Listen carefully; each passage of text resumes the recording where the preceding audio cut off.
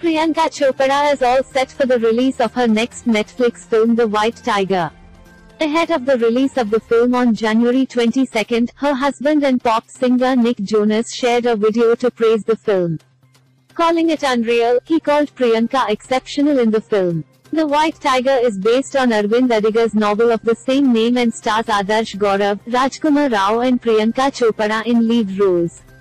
What did Nick Jonas say about The White Tiger? Nick Jonas gave a glowing review to The White Tiger, starring his wife and actress Priyanka Chopra. Nick took praise the film on Instagram stories. He shared a video of himself watching the film's trailer on two television screens and wrote, Get ready.